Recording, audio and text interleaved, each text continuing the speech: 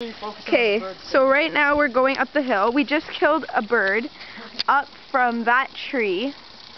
So we're gonna go shoot it, make sure it's out of its misery. Yep, so we had to go all the way up.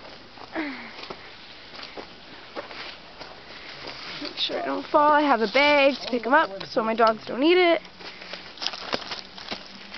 Okay, wait, wait, wait, wait, wait. He got destroyed. You ready? Yeah.